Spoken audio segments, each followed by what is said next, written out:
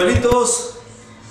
Pues esta semana de animalitos tenemos el caso de nuestra amiga, ¿cómo se llama nuestra amiga? Gurumina. Gurrumina. Gurrumina, como ustedes ven, es una gran danés. Es uno de los perros más grandes que existen en eh, todo el mundo.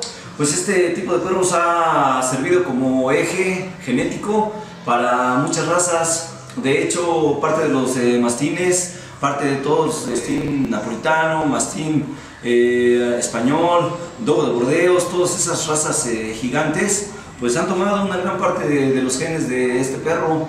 Pero amigos de animalitos, vamos a ver este perrito de dónde viene. Este perrito viene de Alemania, son perros alemanes, en donde en el antaño, pues eh, los progenitores de este perrito, pues resulta que se llamaba Bullenweiser, era un perrito tipo bulldog, tipo, eh, era chato, era brachicefálico, era un perrito grande y pues eh, desafortunadamente ese perro Bullenweiser se ha extinguido, se extinguió en 1850, pues ese perrito ya no existió. O resulta que este perrito también es un perrito faldero. El gran danés se considera como un perro faldero, tanto el chihuahueño como el gran danés, pues son perros falderos, imagínense, pues se acoplan muy bien a los dueños, siempre están atrás del dueño. Eh, son perritos que aún a pesar de que estén tan grandes, pues sus movimientos no son tan toscos, no son tan bruscos, no son tan torpes. Son perros que tienen su caminar muy seguro y son perros que no son... Vámonos al tema de la semana. El tema de la semana, amigos de Animalitos, lo que quiero que aprendan esta ocasión es de que cuando vayan a comprar un perro blanco, tienen que tener mucho cuidado porque perros con perros blancos y perros que tengan acromía en los ojos, pues lo más seguro que sean sordos. Entonces, eh, tengan mucho cuidado con perros eh, blancos, especialmente gran danés y especialmente también en raza eh, pinta, de esa dálmata, resulta que llegan a salir eh, sordos. Entonces, tengan mucho. Amigos de animalitos, se preguntarán por qué esta perrita está temblando.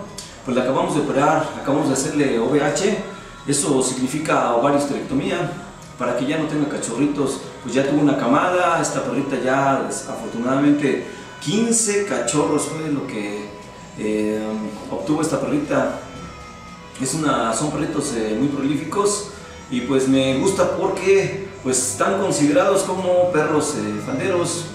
Su, la altura de estos perritos, la altura a la cruz, en machos pues es de 90 centímetros y de hembras es a 86 centímetros. Es bastante, bastante larga.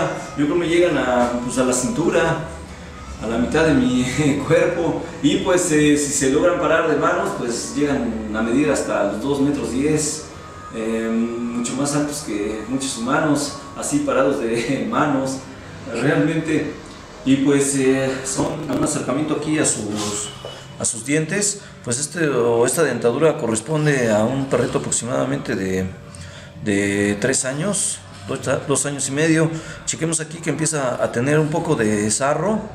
Y por eso amigos de animalitos, estos perritos eh, les recomiendo que se les compre un hueso de res aproximadamente una vez al mes, se lo dejan ahí toda una noche para que lo estén royendo y ese sarro pues rápidamente se puede quitar.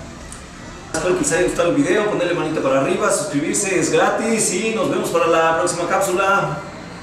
Ahorita le también ahí el botón.